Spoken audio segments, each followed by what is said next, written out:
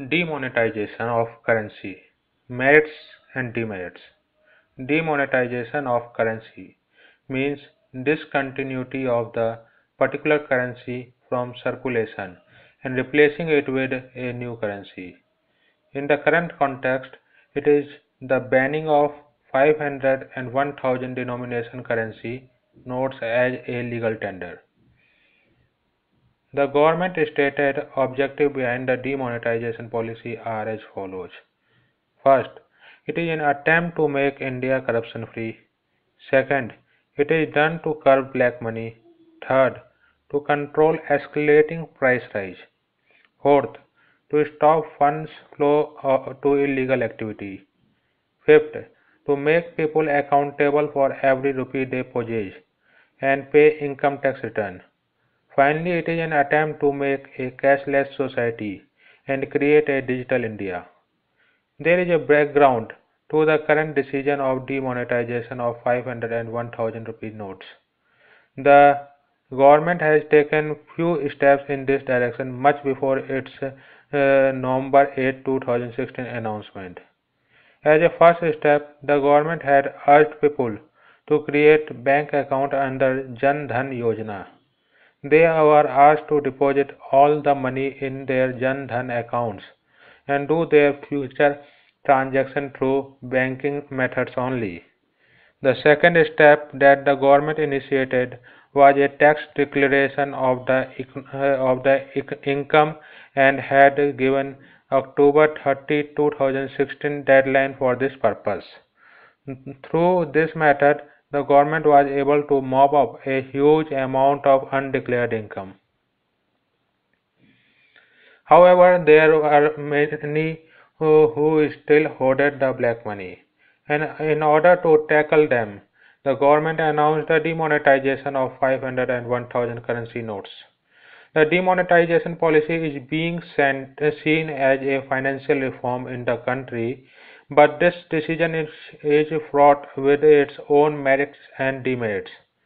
Merits of demonetization. The demonetization policy will help India to become corruption free.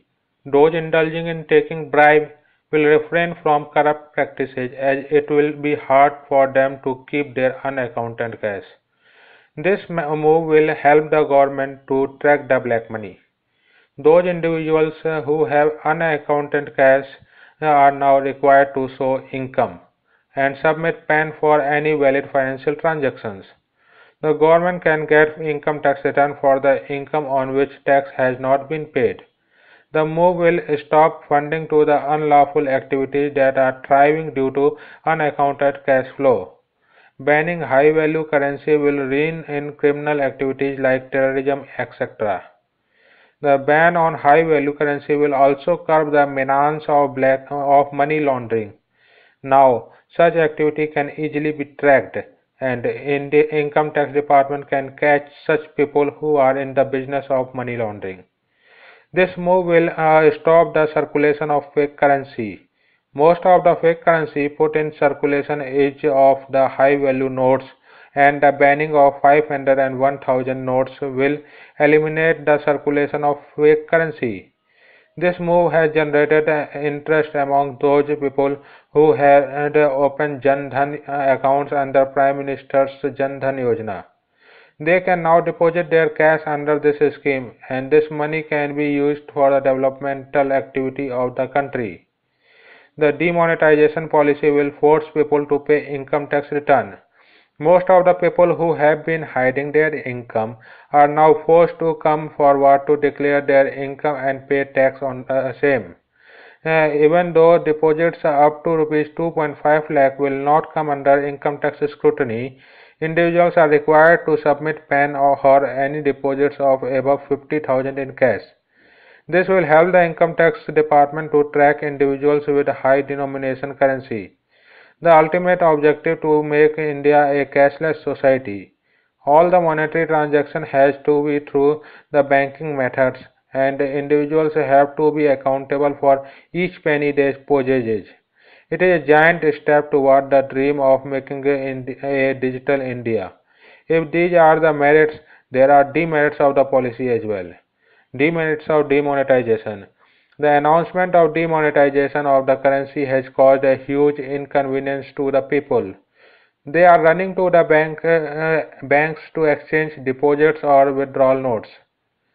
The sudden announcement has made the situation becoming chaotic. Tempers are running high among the masses as there is a delay in the circulation of new currency. It has deeply affected business. Due to cash crunch, the entire economy has been made to come uh, to a stand. Many poor daily wage workers are left with no jobs and their daily incomes has stopped because employers are unable to pay their daily wages.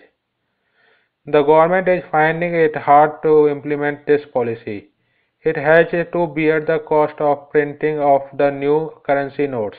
It is also finding it difficult to put new currency into circulation.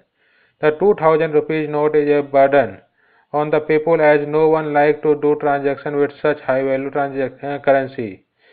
Some uh, critics uh, it will help it will only help people to use black money more easily in future.